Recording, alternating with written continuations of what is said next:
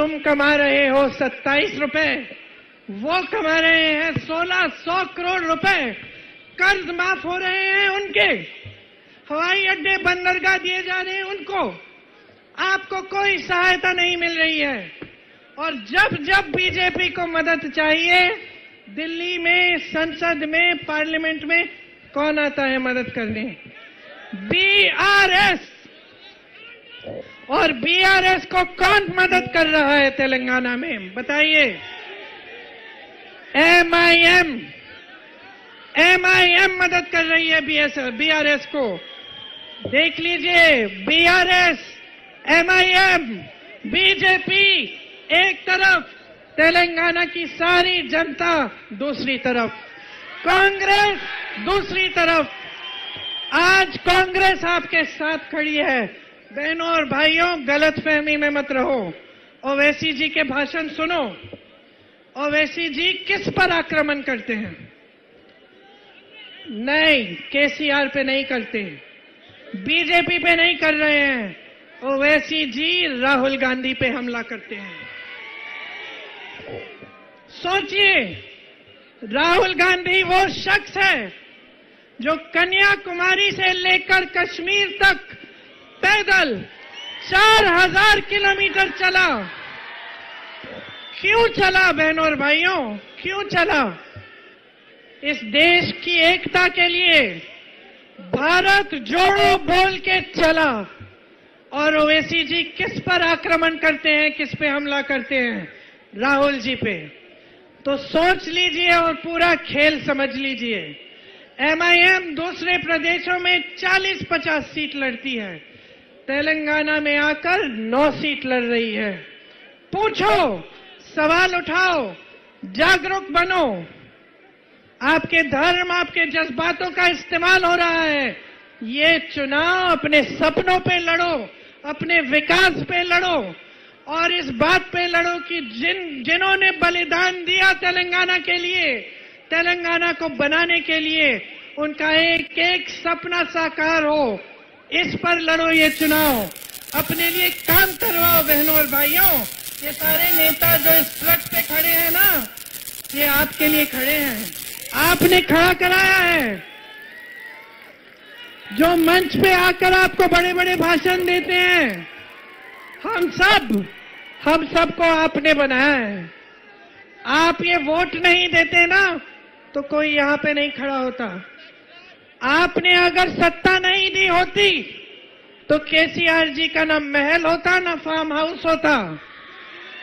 आपने अगर सत्ता नहीं दी होती तो बीजेपी की ये लूट नहीं मचती।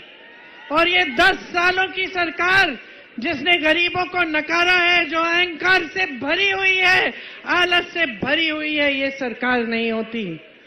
समझ लीजिए सारा खेल। आज आपके साथ कांग्रेस और कांग्रेस के नेता, कांग्रेस का एक एक कार्यकर्ता खड़ा है। आपके लिए छह गारंटी लाए हैं हम। सुन लीजिए, महालक्ष्मी योजना। बहनों, आपको पच्चीस सौ रुपए आपके खाते में हर महीने मिलेंगे। गैस का सिलेंडर पाँच सौ रुपए में मिलेगा। बस की यात्रा मुफ़्त में पूरे तेलंगाना में आपको मिलेगी। रायतु भरोसा, दो लाख तक फ़सल का लोन माफ़ होगा। किसानों को सालाना आजकल, दस हज़ार रुपए प्रति एकड़ मिलता है, हम पंद्रह हज़ार देंगे।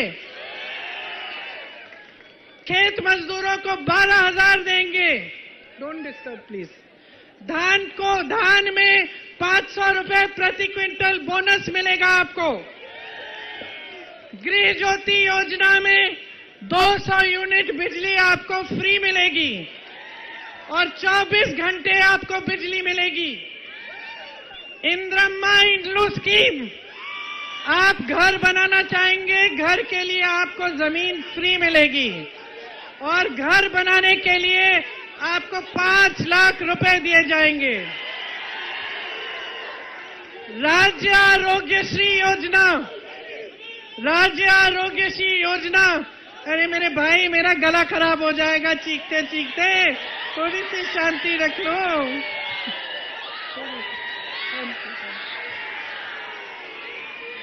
राज्य आरोग्यश्री योजना, इसमें 10 लाख तक आपको हेल्थ इंश्योरेंस मिलेगा। मतलब 10 लाख तक आपका इलाज फ्री में होगा। बुज़ुर्गों के लिए चार हज़ार रुपए प्रति महीने आपको मिलेंगे।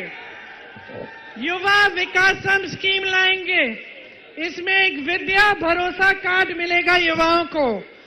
उस कार्ड के ज़रिए आपको पाँच लाख तक मुफ़्त का, जो मुफ़्त ब्याज का लोन मिलेगा शिक्षा के लिए। हम दो लाख रोज़गार आपको बना के दिखाएँगे। और तेलंगाना के शहीदों के परिवारों के लिए एक रोज़गार कम से कम हर परिवार को दिलवाएँगे। मेरे ओबीसी दलित और आदिवासी भाइयों, आपके लिए लोकल बॉडीज में 42 प्रतिशत तक आरक्षण किया जाएगा और नया नेतृत्व हम बनवाएँगे। आपके लिए वन अधिकार कानून लागू होगा। और योग्य लोगों के लिए पट्टे भी होंगे, मिलेंगे। एससी और एसटी परिवारों के लिए 12 लाख रुपए दिए जाएँगे। कल्याण मस्तु योजना में जो बीपीएल, जो गरीब से गरीब परिवार है, जब इनकी बेटियाँ शादी करेंगी, तब आपको 10 ग्राम सोना और एक लाख रुपए की मदद मिलेगी।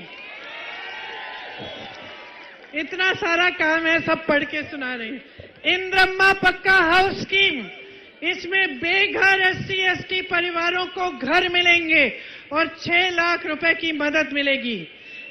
मदका माला और अन्य एससी जातियों के लिए तीन नए निगम बनेंगे। एससी एसटी छात्रों के लिए खास रेजिडेंशियल स्कूल बनेंगे और फ़ीस की वापसी की स्कीम होगी। जो एससी एसटी के छात्र विदेश में पढ़ने जाना चाहते हैं, उनके लिए भी एक खास सहायता की जाएगी। आप चंद्रशेखर जी को अच्छी तरह जानते हैं? तेलंगाना के आंदोलन के लिए इन्होंने मंत्री पद से इस्तीफा दिया। आपकी सेवा करते हैं, रात दिन आपके लिए उपलब्ध रहते हैं। अच्छे ईमानदार और सज्जन व्यक्ति हैं।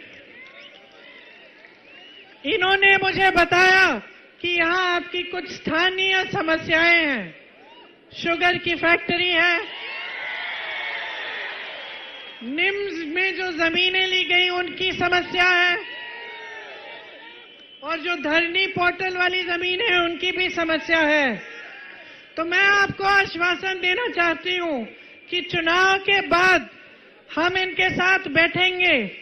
इन समस्याओं को अच्छी तरह से समझ, समझेंगे और इनका हल ढूंढ के निकालेंगे। आप मेरे साथ मिलके बोलो एक बार, आपको फार्म हाउस की फार्म हाउस की सरकार चाहिए या प्रजा पालना वाली सरकार चाहिए? आपको दोराला तेलंगाना चाहिए या प्रजाला तेलंगाना चाहिए?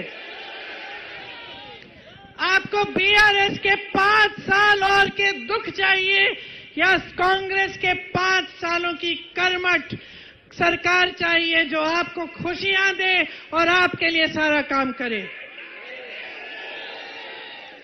तो इनको चंद्रशेखर जी को भारी से भारी बहुमत से जिताओ, कांग्रेस लाओ। और एक ऐसे तेलंगाना का सपना जो आपने देखा था, वैसा तेलंगाना बनाओ। जिसमें आपकी तरक्की हो, आपका भविष्य उज्जवल हो और आपके लिए एक नया सवेरा जागे। बाय बाय के सी केसीआर, बाय बाय के सी केसीआर, बाय बाय के सी केसीआर, बाय बाय के सी केसीआर, मारपू कावाली, कांग्रेस रावाली, मारपू कावाली कांग्रेस रावाली मारपू कावाली कांग्रेस रावाली जय बोलो तेलंगाना आपने मेरी बातों को बहुत ध्यान से सुना। इसके लिए आप सबको बहुत बहुत धन्यवाद। जय हिंद!